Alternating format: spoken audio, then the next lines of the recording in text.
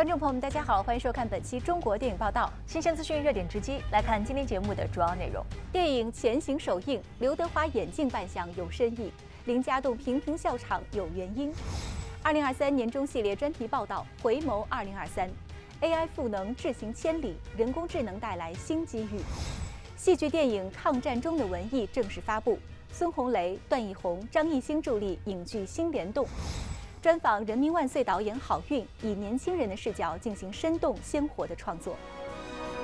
由刘德华监制并主演的新片《前行》昨天在北京首映，刘德华携林家栋、彭于晏、刘亚瑟、任达华等全主创阵容亮相。大家在解读各自角色的同时，也分享了有趣的幕后故事。彭于晏、林家栋还专门为拍戏没感觉找原因。有一批运去南美的毒品，在香港附近海域不见了。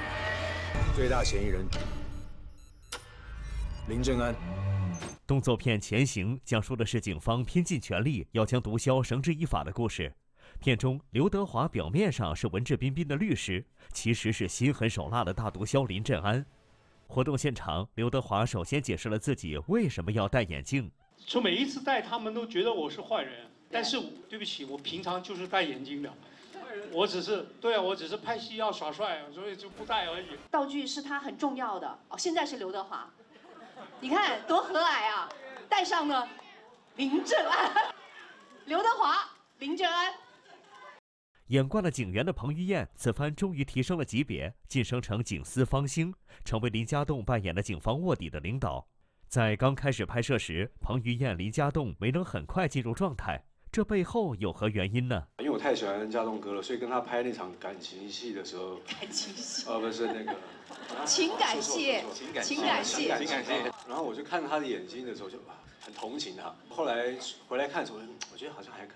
就后来跟华仔哥讨论，话就说你这样好像有一点输了，你应该要稳稳一点，因为你是上司。我说哎呀，对啊，我是警司了。所以常跟这个喜欢的演员对戏的时候，常会被他们带走，很有压力的。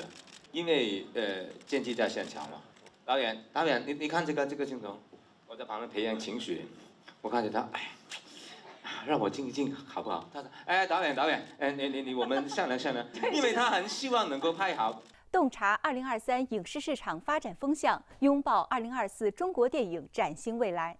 继续为您带来中国电影报道特别策划二零二三年中系列专题报道，回眸二零二三。二零二三年，人工智能热潮席卷全球，也为影视行业带来了无限的可能。越来越多影视作品在创作、宣发、营销、数据管理、影像修复等方面都开始借势人工智能。二零二三年，人工智能正在逐渐覆盖影视产业的全流程，尤其是生成式人工智能 AIGC 的逐渐成熟，首先对内容创作产生了巨大影响。其实，首先来说，第一个，它肯定是一个智能剧本的写作。那么，从二零一六年的六月份，在伦敦的 Scientific 电影节，第一次由人工智能完成的这个剧本的创作，AI 来写那个剧本大纲，给他一些指令，然后让他给我生成一些文本，我看一下有什么有意思的东西，还有那个概念设计，我们也用 AI，就直接用 ChatGPT 那些，还有一些新的专门视频视觉的软件，对创作打开思路这些方面是有帮助的。今年八月热播的网剧《一人之下》中，数字人演员李李的亮相引起了广泛关注。什么味道啊？有点咸，就有点咸呢。然后第二个呢，就是这个素材制备上，就比如说是一些数字演员，呃，一些 VR 的一些演员的这种应用。现在人工智能它是可以去做这种重建的虚拟的物理空间。所以说，当我们用人工智能去提取演员 3D 的面部的一些结构呀、条件呀，包括他们的一些表达呀，其实是可以做一些合成式的呃运用的。儿子姓刘，你怎么姓张啊？我相信会再次看到蓝天，鲜花挂满枝头。AI 技术在视频剪辑、高清影像修复和配音等方面的应用也日趋成熟。不久前，一条短视频再次刷新了观众对 AI 技术的认知。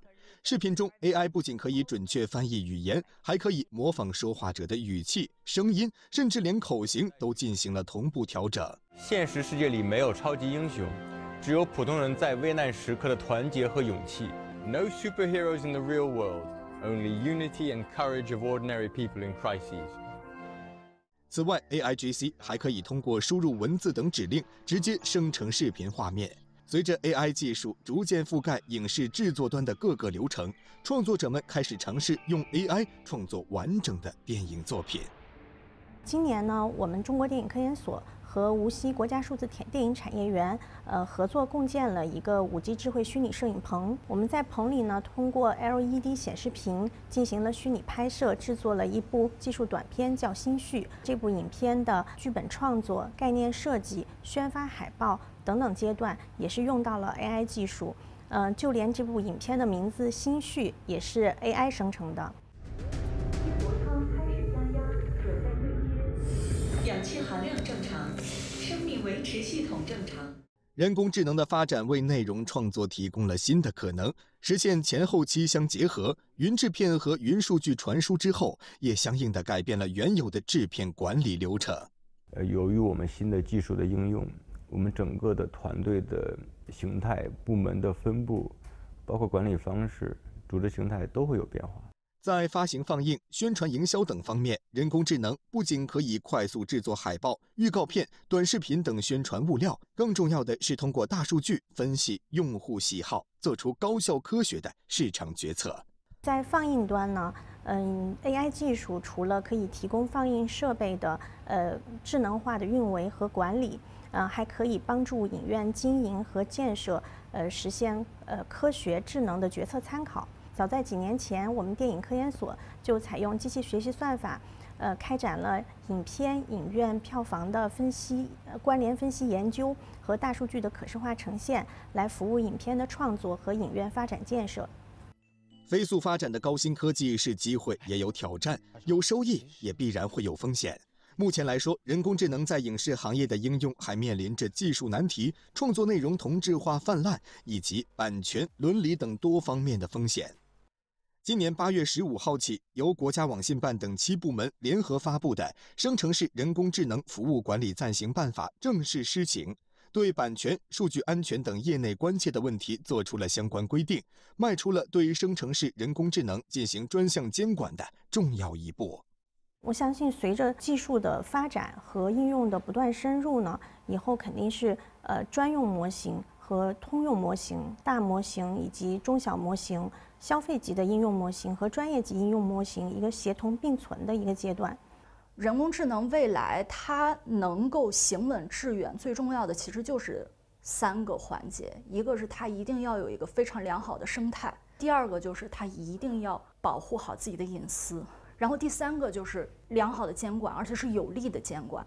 对于我们每一个电影从业者来说，我们的创造力、我们的想象力一定要是更加饱满的、更加壮观的、更加壮阔的。只有在这样的情况下，我们才能搭载人工智能的这样的一个东风，然后去推出更多更好的中国电影。二零二三中国东盟电影文化周正在广西南宁举办，多部来自东盟国家的影片与观众见面。下面就请李丹为我们详细介绍一下。好的，云卫。本届电影文化周的主题是“光影筑梦，和和共生”，将会放映中国和多个东盟国家的电影。特别值得关注的是，这是参展的东盟国家国别和电影数量最多的一届，包括马来西亚的《恋恋茉莉香》，以及泰国的《速度与爱情》、《恋爱诊疗中》、《你与我和我》，还有越南的《璀璨的灰烬》等六个国家的十部电影。活动呢，同时还将放映李明瑞《回声》等国产影片，展映将持续到本月的二十八号。现在许多国内举办的电影活动都吸引了更多国家电影人的热情参与，中国观众的眼界越来越宽广，中国电影的朋友圈也将持续扩大。是的，那接下来我们再来关注影院经营方面的热点消息。前两天呢，上海大光明电影院迎来了九十五岁的生日。那影院呢也官宣啊，将开设电影主题沉浸式餐厅、夜半餐厅，预计呢将于明年开始营业。餐厅呢位于电影院的顶楼露台，将电影和餐饮相结合。比如说，我们看到四面环绕的投影，营造沉浸式的用餐体验；还有名为“电影拍摄之旅”的互动游戏，顾客呢将被分配到与电影制作有关的角色身份，并且啊在上菜的过程当中完成。对应的任务。现在呢，许多电影院啊都在积极的创新业态，比如说，同样有着九十多年历史的上海胜利电影院，也在重新修缮和复业之后呢，尝试了影院加展览的营业模式，仅保留了一楼的放映影厅，将二楼设置为展览空间。越来越多的电影院正积极拥抱改变，影院加餐饮、影院加展览、影院加魔术等多种新玩法，吸引着观众前来打卡，也激发着影院放映端加速向电影加文旅的新业态转型升级。今天是毛泽东同志诞辰一百三十周年纪念日，纪录电影《人民万岁》也于今天公映。影片展现了毛泽东同志与人民同呼吸、共命运的伟大情感。导演郝运在接受我们专访时透露，主创团队引入年轻人的视角，进行了生动鲜活的创作。新人在遵守四分之一的全国人三十三名技能。那我们就在想，现在的年轻人。他们怎么来理解主席所做的一些事情？他们心目当中主席是一个什么样的一个形象？他们对他的情感是怎么样的？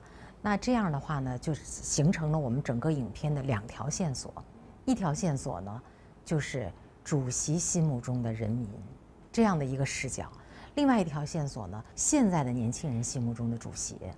那么这种人民的视角呢，等于是在这样的一个两条线索之下。穿起来的。片中的配乐还运用了很多东方红的音乐和东方红的变奏音乐，其中很多音乐的创作也都是由年轻人来完成的。那这些段落里边呢，有传统的东方红大歌舞剧，有传统的曾经创作的东方红，但是有更多的呢，是我们这次邀请很年轻的朋友们，九零后、零零后，他们创作出来的。呃，有这个唢呐的吹奏，有笛子的信天游版。有几岁的童声演唱，还有这种这种电声演奏，我觉得这一个应该是这个片子让他觉得有年轻化的一个一个原因吧。此外，有很多独家影像和声音素材，不仅是第一次公开呈现在大银幕上，更经过了现代化技术的精湛修复。第一次公示公布出来的这种影像和声音，而且呢，这次首次公布出来的声音呢。大概应该有，我印象当中至少有三四处吧，就是从来没有面试过的声音。有一些声音呢，可能都已经因为那个划伤啊、掉词啊，就稍微有点变音了，怎么修复也不太方便了。但是，嗯，非常振聋发聩。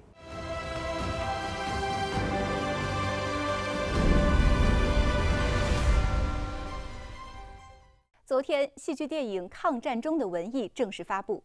这是中国国家话剧院与中影股份启动影剧新联动战略合作后的首次尝试。活动上，孙红雷、段奕宏、罗一舟等主演分享了不同的创作心情。有人担心，有人满足，也有人感慨。我真的是生怕呈现出来的鲁迅先生没有那口气，就是那种傲骨精气神。我不担心我的装束像与不像。所以，敢于给自己去提一个精神，也时时在提醒自己，创作者还是需要勇敢的。上海民众英勇的反日反帝斗争，已在严重的压迫下。其实接到这个任务的时候，我更多的心里是激动和荣幸的感觉。我现在说起来，这嘴角都压不下来呢，就老想呲牙笑，是因为。这个站在舞台上的时候呀，它是一个一次性的、即时性的艺术。就可能我演抗战中的文艺也好，还是其他的话剧作品，我十天演十场，可能，但是它每一场它都不会重复的。所以更宝贵的就是站在舞台上，演员去跟观众表达的那一瞬间。所以呢，这个时候演完之后跟观众谢幕的时候，那种满足感是不太一样的。活动当天，张艺兴、王仁军等新入职国画的演员也纷纷亮相。这让孙红雷很是感慨。我是一九九七年在现在叫宁郡毛府啊，给特招来的。然后这一届有了这么多优秀的作品，有新的被特招了很多人才，还有我弟弟张艺兴也来了。今天，感感谢。戏剧电影《抗战中的文艺》即将全国上映，后续也会开启预约放映。未来，我们也将。期待能与中国国家话剧院加深合作，开拓电影与话剧之间的创作、演出、放映的新境界。在昨天的节目中，我们分析了微短剧在野蛮生长中迎来的机遇与挑战。今天我们继续聚焦微短剧话题：微短剧在创作上有何特点？微短剧在数量井喷的同时，如何提质升级，走向精品化呢？来看我们的独家调查。微短剧单集时长从几十秒到十五分钟不等，大大降低了用户追剧的时间成本。而如何在短时间内以强冲突和强反转抓住观众的情绪爽点，成为微短剧创作的一大要点。微短剧因为时间短，所以它必须要倒逼在叙事上要爆点前置，这个其实也是我们传统的影视叙事当中比较稀缺的。如何在三到五秒钟、五到十秒钟？用一种高潮式的爆点式的，甚至是高悬念前置的方式，先把我们的用户留住。这个其实是很考验我们的创作者的智慧的。我们的每一集的打点是不一样的，前面要留一个悬念，后面要留一个钩子，让大家能够往下看。每一个镜头，大家可能都要思索一下有没有必要放在这儿。你们好大的胆子！有我在，谁敢动陛下？背叛我的人，你知道有什么下场？微短剧的小体量也压缩了制作周期，在快则一周、慢则半个月的拍摄周期内，剧组成员往往需要身兼多职，甚至连轴转。我们从进组、试妆啊、围读到拍摄结束，大概半个月不到，其实算是比较长的时间。因为一般短剧是一周左右嘛，我们拍摄时长留了将近十天，但也是非常的紧凑。长公主其实。还好，四到五个小时。东兰选是差不多三个小时。除了常见的横屏构图外，微短剧还延伸出了独特的竖屏构图方式。比如说偏美感、偏宏大叙事、偏有一定世界观的，我还是建议大家去做横屏。那如果说大家做的是偏人物、偏故事冲突啊、偏人物矛盾、故事发展的，那我建议大家是竖屏。但是两者其实在快手平台上都有比较好的播放表现，内容质量更是重中之重。微短剧创作者要牢固树立精品意识，在创作上贴近现实生活，紧跟时代潮流，反映群众关切。本质上来讲，还是要抓住社会的共鸣话题。我们今年做的《我回到十七岁的理由》，通过两个人在校园青春时代的一些美好的情愫，来去引起了一些共同的校园的话题。比如说，我们如何去面对校园霸凌？我们如何去解决升学考试和我们生活之间的平衡和压力，会引起大家共鸣。在微短剧走向精品化的道路上，平台也需要积极作为，与创作者一起共创优质内容，推动行业健康良性发展。需要有一些相对比较大的平台来去主导这样的中高投入的这样的作品，定位就是这种精品化、高端大制作的微短剧。这样的话，多主体、多渠道、多模式、多类型。和多样的这种元素以及主题，才能够共同繁荣微短剧的市场。我们在整体内容自制上一直秉持的其实是制片人中心制，从立项阶段到演员的选择、团队的选择、呃剧本的创意的改编，以及后期的拍摄、剪辑、宣发一条龙，制片人都会深入到每个环节，去帮助我们的创作者，帮助我们的制作团队去把控品质。接下来为您送上一组新鲜资讯。今天上午，由丁晟执导、杨幂、于谦、田雨等人主演的悬疑喜剧电影《没有一顿火锅解决不了的事》发布一组人物海报，并官宣将进军2024年五一档。海报中，五位主演纷纷摘下面具，露出真容，神秘的表情不禁让人对每个角色的命运走向充满好奇。眼下，电影三大队票房已近五亿，同时由秦昊、陈明昊、李乃文等主演的电视剧《三大队》也上线播出。在日前的媒体看片会上，到场交流的众位主创表示，剧版中多处长镜头的运用和长篇叙事的优势，能更全面、细腻地讲述立体的群像故事。呃，我们确实挺费劲儿的，用一个镜头，然后里面完成气氛的变化呀，复杂的调度啊，其实是就是希望能让观众更加清晰地带入到这个情境里。现在是全友家居互动话题时间，今天的问题是：电影《前行》的监制是谁？登录中国电影报道官方微博，积极参与话题互动，您就有机会获得由全友家居提供的精美礼品。祝您好运！更多精彩内容，请关注一九零五电影网，下载一九零五电影网客户端，新片大片二十四小时直播。好了，今天节目就到这里，明天二十二点整，欢迎您继续收看中国电影报道。我是云卫，我是李丹，明天见。我的未来